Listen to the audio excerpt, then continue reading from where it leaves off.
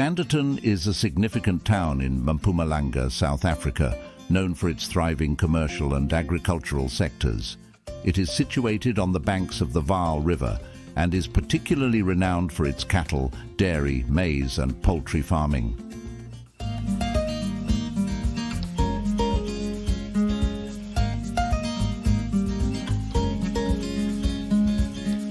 Hello and welcome back to our channel. If you haven't done this already, please subscribe and press the bell icon. That way you'll find out every time we bring you a new and exciting travel adventure video.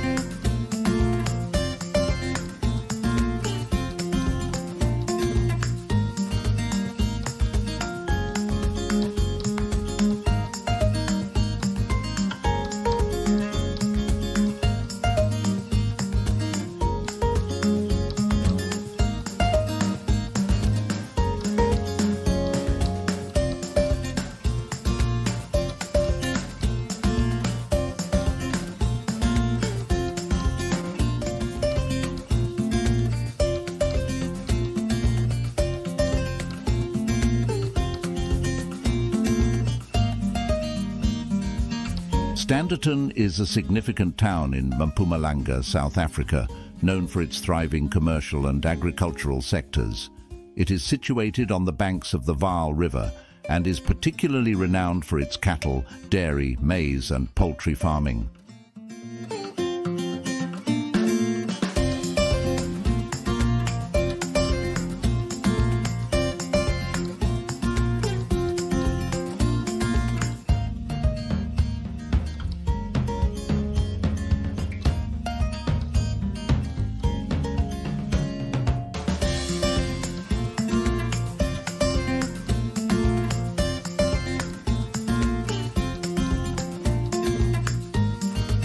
The town prospered, its location became increasingly important at the peak of the wool trade, serving as a midway point between Heidelberg and Martinus Wesselstroom, now Wakkerstroom.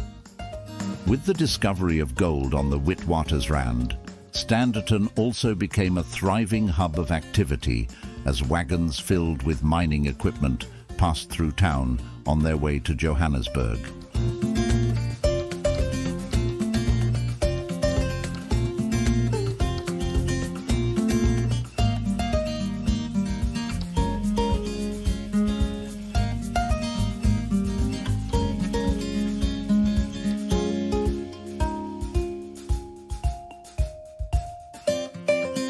Despite this, a reporter from the Times gave a scathing review of the emerging town in December 1881, calling Standerton one of the dreariest locations on earth. They criticized the town for being made up primarily of corrugated iron sheds with a significant number of them being drinking establishments.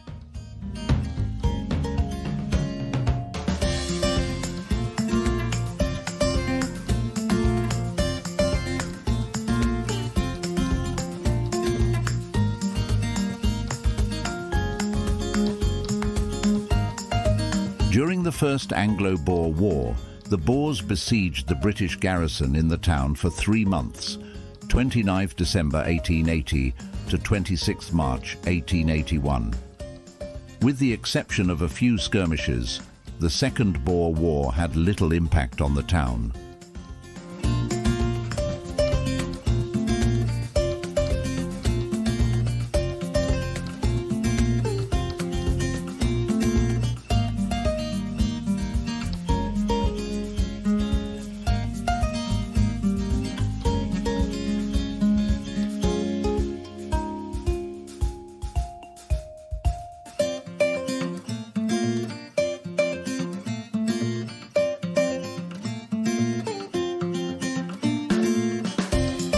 General Redvers Buller, leading the British forces, peacefully captured Standerton on the morning of June 23, 1900, as the Boers offered no resistance.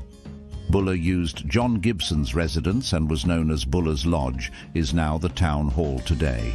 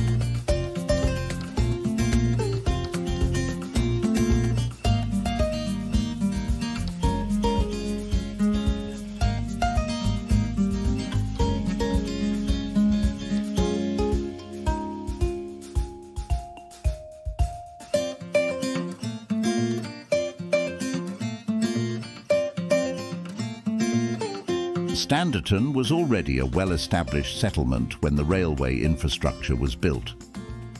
Rail operations between Natal and Standerton began on 27 August 1895, while a route between Standerton and Heidelberg opened three months later on the 15th November 1895. The original station was erected parallel to Standerton streets and in line with the market square, and it was also on a higher elevation to the west that overlooked the town. The elaborate pointed gables of the raised central section of the roof, which faced the station and the street, gave a characteristic English appearance. Lindsay and Perry built the station construction, which is made of coarsely dressed natural stone in an uneven pattern. It had facilities, waiting areas, an entrance hall with an office, a luggage room, and offices for the assistant station master and train conductors.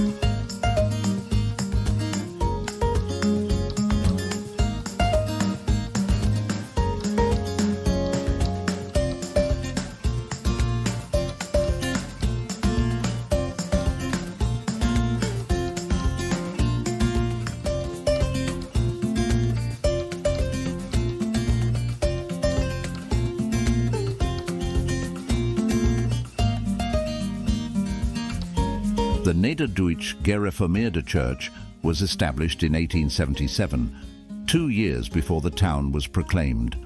The Transvaal Teaching Department later purchased the initial small church building and used it for student education. The second church complex had a near replica design of the church building in Utrecht, KZN, some 160 kilometers away. While the cornerstone of the Standerton Church building was laid by General Joubert on the 25th October 1889, the building went through a revamp in 1895 and 1914 to accommodate 1,500 churchgoers. This beautiful building was sadly demolished some 51 years later, in 1941. Erected beside the church is the Burger Memorial to commemorate the area and the Boers of Standerton who gave their lives for the freedom of their people and country.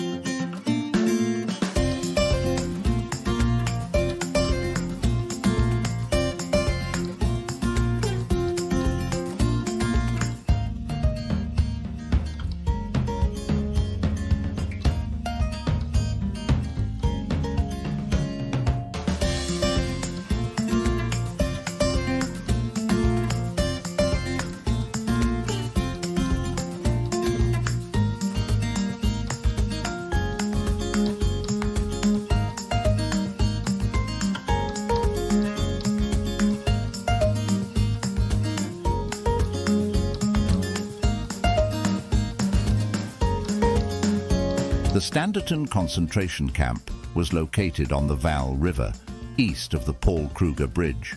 The camp was constructed around December 1900 and handed over to civilian supervision in February 1901. Mr. Van Musschenbroek was then appointed by the local district commissioner and the camp was mostly left to its own devices. No records of arrivals or departures being kept as families flooded in, with some being deported to Natal and others relocated to other camps, while at the time the Platrand camp was being merged with the Standerton camp.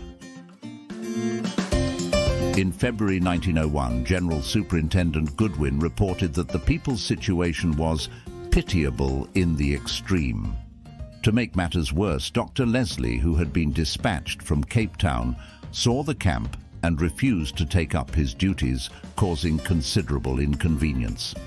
Standerton Camp had surpassed its maximum of approximately 3,000 by the end of May, and more people continued to arrive. As housing became scarce, families were sheltered at the local Dopper Church, while others were permitted to reside in the town, much to Moffat's chagrin. During the cold, wet winter, many people grew ill and died from pulmonary complaints and typhoid. The measles epidemic began in September, brought in by children from a group captured by Colonel Colville's column. Apart from the pneumonia outbreak, poor sanitation had resulted in Salmonella, E. coli and Streptococcus infections by October. 857 women and children died in the camp. Margrietha Swart of Rudecrans lost eight of her children in a 19-day period, in just one of many tragic cases. Soon after the war, Charles Landau, the mayor, presented a memorial fountain in commemoration of the women and children who died in the concentration camp and placed in Market Square.